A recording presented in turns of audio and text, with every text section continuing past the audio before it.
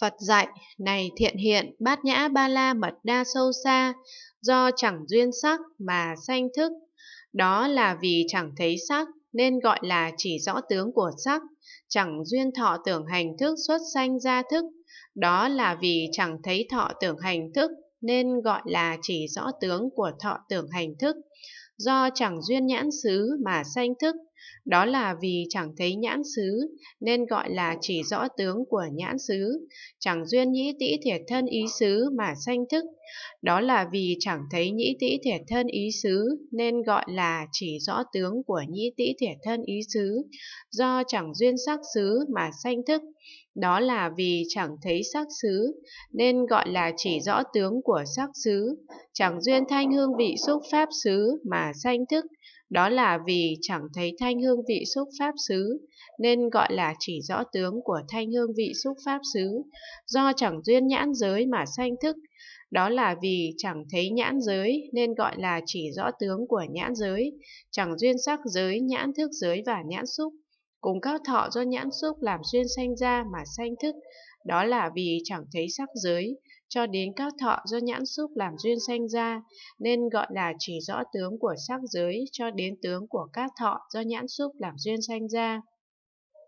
Do chẳng duyên nhĩ giới mà sanh thức, đó là vì chẳng thấy nhĩ giới nên gọi là chỉ rõ tướng của nhĩ giới, chẳng duyên thanh giới, nhĩ thức giới và nhĩ xúc, cùng các thọ do nhĩ xúc làm duyên sanh ra mà sanh thức, đó là vì chẳng thấy thanh giới cho đến các thọ do nhĩ xúc làm duyên sanh ra, nên gọi là chỉ rõ tướng của thanh giới, cho đến tướng của các thọ do nhĩ xúc làm duyên sanh ra. Do chẳng duyên tĩ giới mà sanh thức, đó là vì chẳng thấy tĩ giới, nên gọi là chỉ rõ tướng của tĩ giới, chẳng duyên hương giới, tĩ thức giới và tĩ xúc, cùng các thọ do tĩ xúc làm duyên sanh ra mà sanh thức, đó là vì chẳng thấy hương giới cho đến các thọ do tĩ xúc làm duyên sanh ra, nên gọi là chỉ rõ tướng của hương giới cho đến tướng của các thọ do tĩ xúc làm duyên sanh ra, do chẳng duyên thiệt giới mà sanh thức. Đó là vì chẳng thấy thiệt giới nên gọi là chỉ rõ tướng của thiệt giới, chẳng duyên vị giới, thiệt thức giới và thiệt xúc, cùng các thọ do thiệt xúc làm duyên sanh ra mà sanh thức. Đó là vì chẳng thấy vị giới cho đến các thọ do thiệt xúc làm duyên sanh ra, nên gọi là chỉ rõ tướng của vị giới, cho đến tướng của các thọ do thiệt xúc làm duyên sanh ra, do chẳng duyên thân giới mà sanh thức. Đó là vì chẳng thấy thân giới, nên gọi là chỉ rõ tướng của thân giới, chẳng duyên xúc giới, thân thức giới và thân xúc, cùng các thọ do thân xúc làm duyên sanh ra mà sanh thức.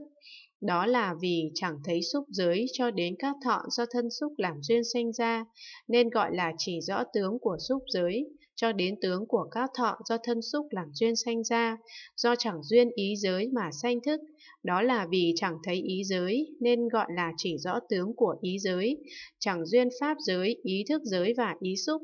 cùng các thọ do ý xúc làm duyên sanh ra mà sanh thức, đó là vì chẳng thấy pháp giới, cho đến các thọ do ý xúc làm duyên sanh ra, nên gọi là chỉ rõ tướng của pháp giới cho đến tướng của các thọ do ý xúc làm duyên sanh ra do chẳng duyên địa giới mà sanh thức, đó là vì chẳng thấy địa giới, nên gọi là chỉ rõ tướng của địa giới, chẳng duyên thủy hỏa phong không thức giới mà sanh thức, đó là vì chẳng thấy thủy hỏa phong không thức giới, nên gọi là chỉ rõ tướng của thủy hỏa phong không thức giới, do chẳng duyên vô minh mà sanh thức, đó là vì chẳng thấy vô minh, nên gọi là chỉ rõ tướng của vô minh, chẳng duyên hành thức danh sắc lục xứ, xúc thọ ái thủ hữu, sanh lão tử sầu than khổ yêu não mà sanh thức, đó là vì chẳng thấy hành cho đến lão tử sầu than khổ yêu não, nên gọi là chỉ rõ tướng của hành cho đến tướng của lão tử sầu than khổ yêu não. Do chẳng duyên bố thí ba la mật đa mà sanh thức, đó là vì chẳng thấy bố thí ba la mật đa, nên gọi là chỉ rõ tướng của bố thí ba la mật đa, chẳng duyên tịnh giới an nhẫn, tinh tấn, tịnh lự, bát nhã ba la mật đa mà sanh thức. Đó là vì chẳng thấy tịnh giới, cho đến bát nhã ba la mật đa, nên gọi là chỉ rõ tướng của tịnh giới cho đến tướng của bát nhã ba la mật đa do chẳng duyên pháp không nội mà sanh thức, đó là vì chẳng thấy pháp không nội, nên gọi là chỉ rõ tướng của pháp không nội.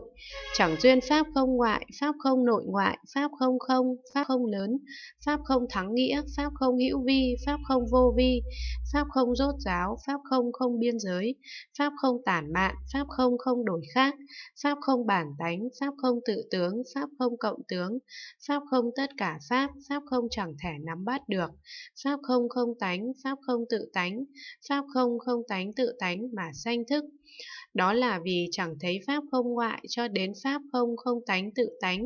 nên gọi là chỉ rõ tướng của pháp không ngoại cho đến tướng của pháp không không tánh tự tánh. Do chẳng duyên chân như mà sanh thức,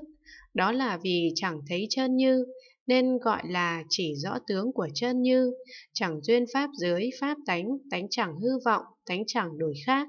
tánh bình đẳng, tánh ly sanh, định pháp, trụ pháp, thật tế, cảnh giới hư không, cảnh giới bất tư nghỉ mà sanh thức, đó là vì chẳng thấy pháp giới cho đến cảnh giới bất tư nghỉ, nên gọi là chỉ rõ tướng của pháp giới, cho đến tướng của cảnh giới bất tư nghỉ.